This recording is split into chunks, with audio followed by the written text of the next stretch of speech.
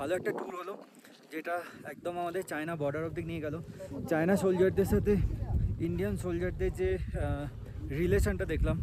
তো এমনি খুব ফ্রেন্ডলি ছিল। আমি এটা বলব কি এই গোটা রাস্তাটা মানে কোথায় কোথায় বাঙ্কার আছে আমরা নিজেরাও দেখতে পাচ্ছিলাম না।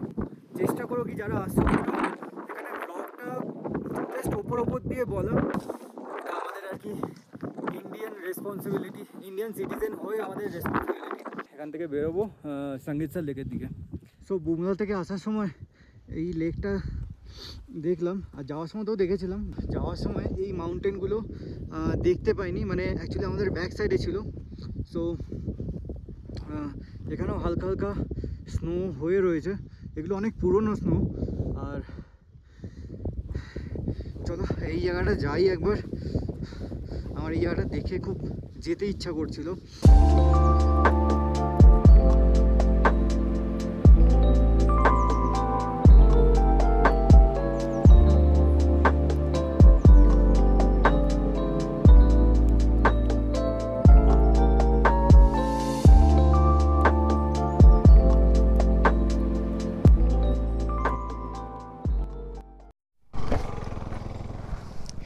হলো?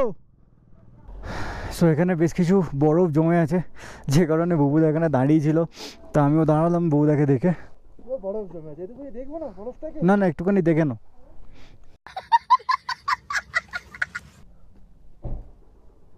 এলো না। দাও এইটুকু দাও। এইটুকু দাও। আচ্ছা ছড়বে ছড়ো। এই যে বরফ। দেখে না বরফের টাইমে যদি আসতাম আরও এক সপ্তাহ পর যদি আসতাম হয়তো পেতাম। কিন্তু মানে কী বলব আমাদের মনের মধ্যে একটা টেনশন থাকতো কি আদৌ হবে কি হবে না হবে কি হবে না। এবারে পুরোটা কিন্তু কনফার্ম ছিলাম কি হয়ে যাবে। আর রাস্তার ধারে বরফ পাবো। কিন্তু আমাদের ডিসঅ্যাপয়েন্টমেন্ট এটাই হলাম কি বরফ এক ফোঁটাও নেই। জাস্ট মানে এই মানে এটা থাকা না থাকা সমান। এর থেকে আমাদের ফ্রিজে বেশি বরফ থাকে।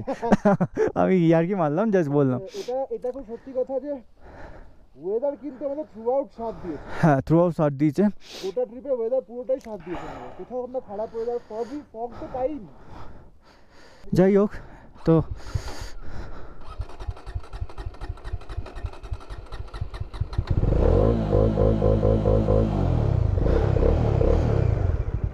বুমলা বাস থেকে ডমিনার একটুখানি প্রবলেম হচ্ছে স্টার্টিং ইস্যু হচ্ছে। তো কিছু করার নেই জানি না কেন হচ্ছে এরকম।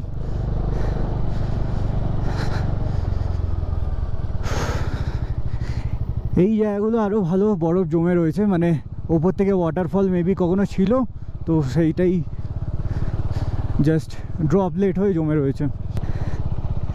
এরকম ছোটো ছোটো ভিউগুলো দেখতে কিন্তু বেশ বেশ ভালো লাগছে, আর এগুলো সিরিয়াসলি সারা জীবন মনে থেকে যাবে। আর সবটা ভালোভাবে মনে রাখার জন্যই আজ এই ভিডিওগুলো বানানো।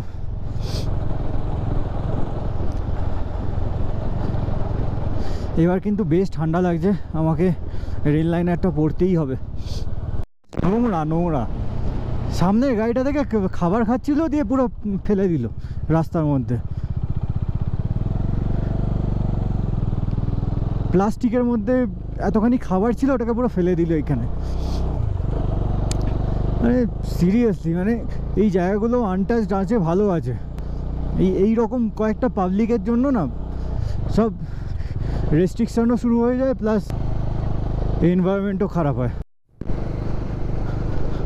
সো এখন বাজছে ওয়ান ফর্টি নাইন আর আমরা ওই ওপর থেকে নামছি। এখন পুরোটা আমাদের নামতে হবে নিচে। আর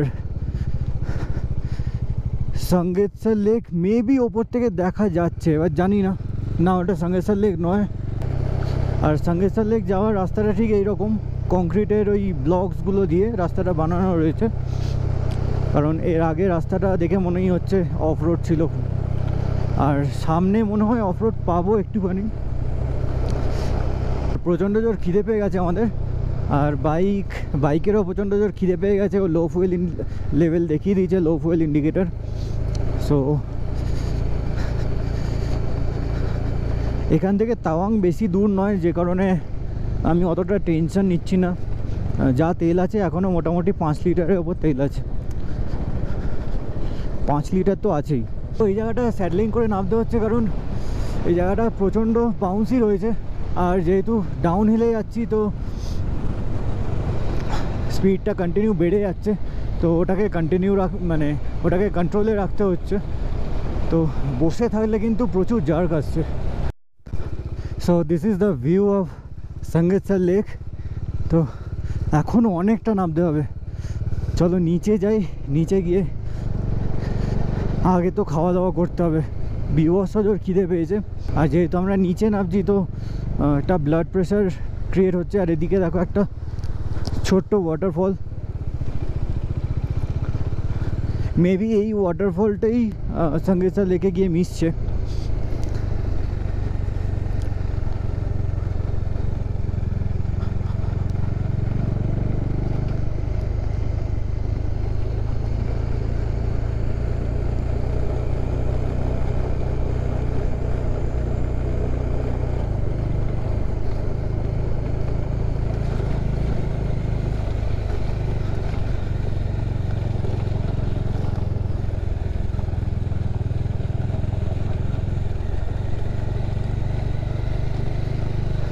বিভৎস বাউন্সি এরিয়া এটা। মানে বাউন্সির ওপরে যে কংক্রিটের ব্লকসগুলো আছে, যে কারণে বসে থাকা যাচ্ছে না। জার্ক আসছে অনেক। মানে বাইকটা মানে প্রচণ্ড লাফাচ্ছে, যে কারণে স্যাডলিংটা করতে হচ্ছে। আর এই সমস্ত জায়গায় স্যাডলিং করলে অনেকটা ইজি হয়ে যায়। একসাথে কতটা হাইট আমরা ডিক্রিজ করছি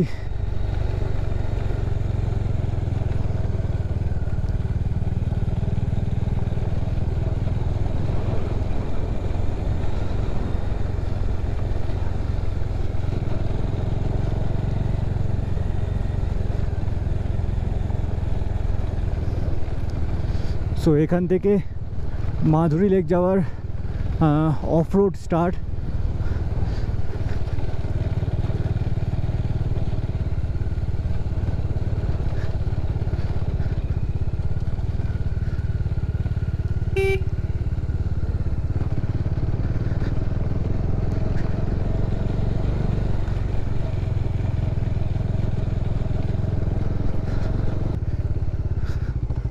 ও গড এইগুলো তো ঠিক আছে, আমরা দেখতে পাচ্ছি বাট এইটা। জাস্ট মনে হচ্ছে যেন এই দিক থেকে কেউ কেটে দিয়েছে এইভাবে।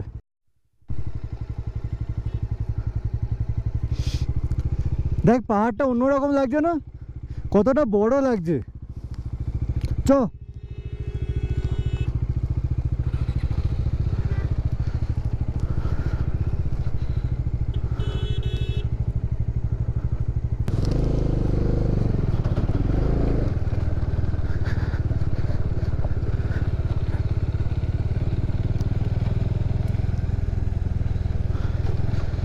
তো নিচে নামার সাথে সাথে কিন্তু এখানে ওয়েদারটা চেঞ্জ হয়ে গেল অতটা ঠান্ডা লাগছে না মানে ড্রাস্টিকলি চেঞ্জ হলো এই জায়গাটা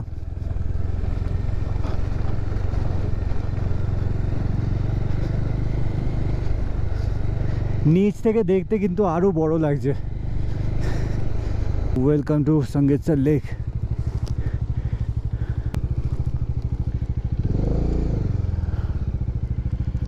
welcome to Sangitsar lake আর সামনে ভিউটা ঠিক এই রকম আর মাউন্টেনটা সিরিয়াসলি মনে হচ্ছে যেন জাস্ট দেখতেই থাকি দেখতেই থাকি এতটা বড় মানে দুদিকে পাহাড়টা দুরকম না না এতক্ষণ যে পাহাড়গুলো এসে এটা পুরোটাই অন্যরকম আর অনেকটা বড় এটা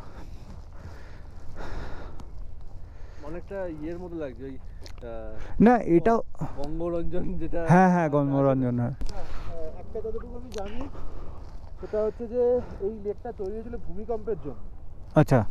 ঠিক আছে তুই মানে জমিটা হঠাৎ করে ধসে গেছিল তুই এদিকটায় আয়। দেখ, ওদিকটা দেখে। গাছপালাগুলো রয়ে গেছে। দেখে হ্যাঁ ঠিক আছে এটা ভূমিকম্পের জন্য তৈরি হয়েছিল। আচ্ছা। জমিটা বসে গিয়ে এই লেকটা তৈরি হয়েছিল। জাস্ট ভিউটা দেখো এখানকার কতটা বিউটিফুল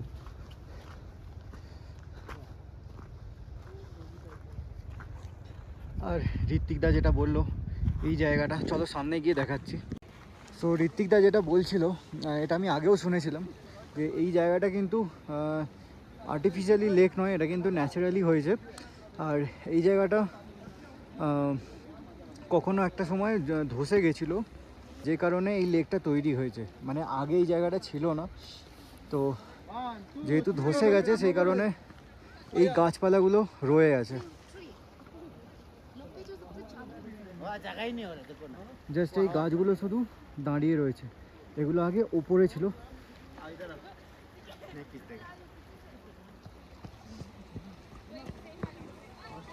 আর তোমাদের যেটা বলছিলাম, ওপরে একটা ওয়াটারফল আছে, তো ওইখান থেকেই কিন্তু এই লেকের সোর্সটা এখনও অবধি কন্টিনিউ হচ্ছে, আর ওই জলটাই আসছে এদিকে।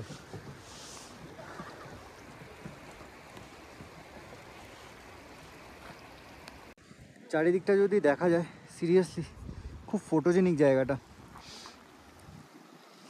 তো চলো। আর এখানে জলের ফ্লোটা এতটাই স্মুথ এতটাই স্মুথ মানে একটা খুব সুদিং একটা আওয়াজ আছে। এই জায়গাটা থেকে।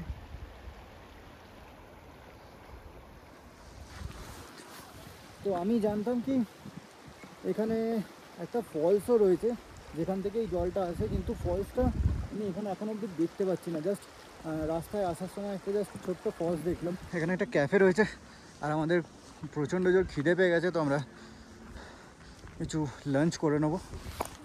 দিয়ে তারপর এই জায়গাটা একটু ভালো করে এক্সপ্লোর করব।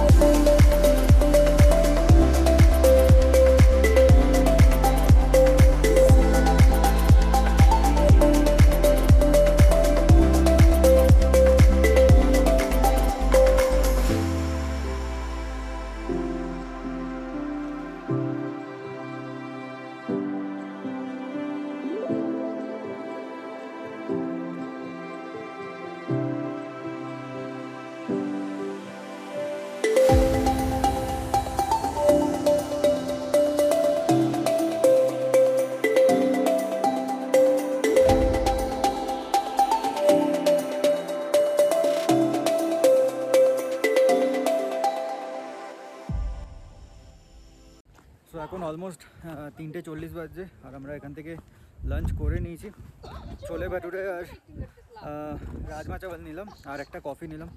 তো এখান থেকে ভিউটা ঠিক জাস্ট এরকম। ছেড়ে যেতে ইচ্ছা করছে না জায়গাটা থেকে বাট কিছু করার নেই ওয়েদার খারাপ হচ্ছে এদিকটা ওয়েদার খারাপ হচ্ছে। সো এখান থেকে বেরোবো, আর এখানে বসে ফটোশ্যুট করছে সব। একটা ইটানগর থেকে কোনো ইনস্টিটিউট থেকে এক্সকারশানে এসছে। সো এখানে ফটোগ্রাফি চলছে। আর তো চলো, আমাদের এখন অনেকটা উপরে উঠতে হবে। সো এখানে টাইম লাস বসিয়েছিলাম। তো চলো, একবারে মোটর ব্লগিং সেটা দেখাচ্ছি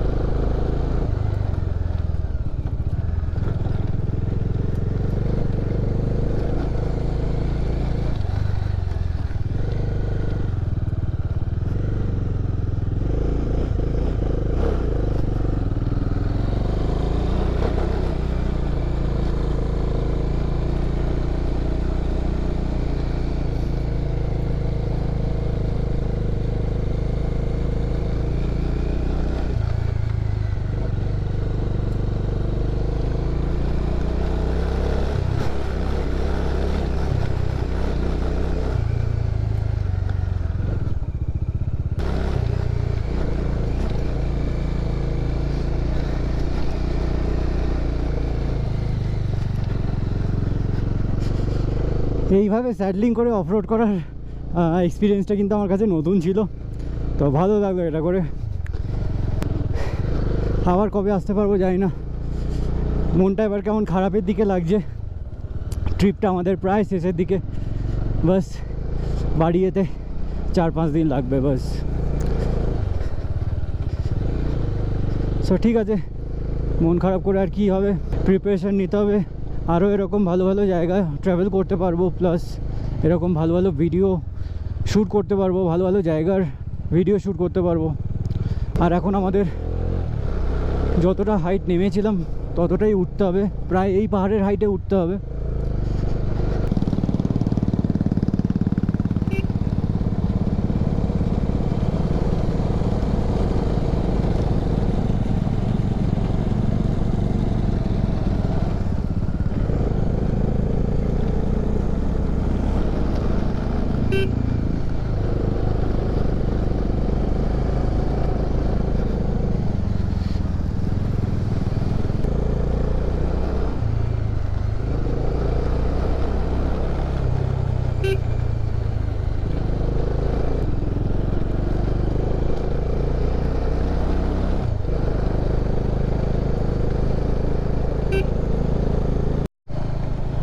অনেকটা এগিয়ে এসেছি, নিচে ওদের দেখা যাচ্ছে। আর এই ভিউটা দেখো তোমরা। সূর্যের আলোটা জাস্ট পড়ছে। সো আমি একটু পাহাড়ে হাইপার রাইডিং করলাম। আর আমার আগে পরে কেউ নেই, যে কারণে আমি এটা করলাম। সবার আগে গিয়েই এটা করলাম যাতে আমার জন্য বাকিদের প্রবলেম না হয়। আর বাইকে পেট্রোল এখন রিফিল করতে বলছে লো ফুয়েল ইন্ডিকেটার দেখাচ্ছে। সো আই গেস তাওয়াং অব্দি তো আরামসে চলে যাবে। তো তাওয়াং থেকে ফুল ট্যাঙ্ক করতে হবে। কালকে আমাদের বাড়ি ফেরার পালা। আর জানি না, এই ভিউটা আবার কবে দেখতে পাবো। খুব মিস করব। ট্রিপটা অনেক দিনের ছিল অলমোস্ট দশ দিনের প্ল্যান ছিল বাট জাস্ট এইভাবে কেটে গেল। ঠিক আছে, একটা শেষ হবে, তবেই তো আরেকটা শুরু হবে।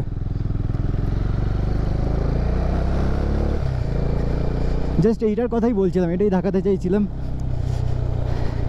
মানে একদিকে কিন্তু আলোটা পড়ছে আর বাকি দিকটা শেড হয়ে আছে। আর পাহাড়ের যে শেপটা রয়েছে, ওইভাবেই কিন্তু আলোগুলো দেখা যাচ্ছে। আর এই পিকগুলো দেখো, কতটা শার্প পিক এরকম একটা ভিউ দেখার পর আর কিছু চাই? আজকের সানসেটটা কিন্তু বেশ ভালো লাগছে। এরকম রাইড করতে করতে সানসেট দেখছি, তা আবার এরকম রাস্তায়।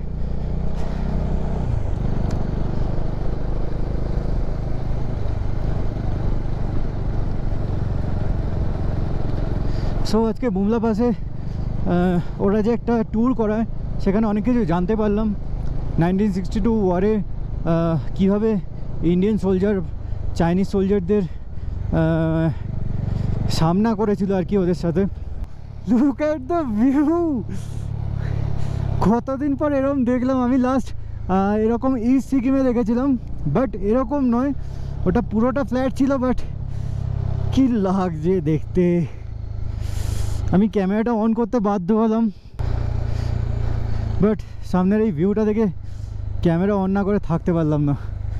হু ঠিক আগের দিন যেমন বলছিলাম, তুলোর মতো লাগছে।